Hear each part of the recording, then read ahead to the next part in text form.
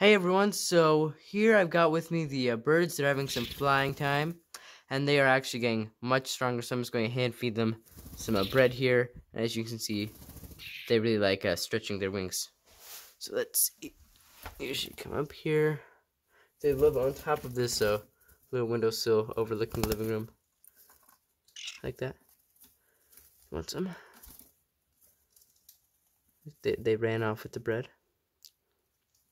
Now, I haven't been able to get them to come, like, uh, fly onto my arm or anything. I have tried.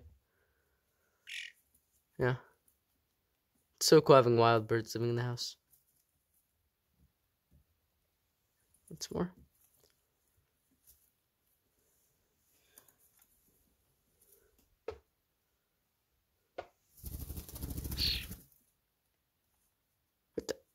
Take the whole piece. See if I step back and hold the piece, see if they'll fly for it. Come on. Yeah, they do not seem interested. So, anyway, just wanted to let you guys see what it's like living with wild birds in the house. And uh, see you next time on Reuben Time. Bye.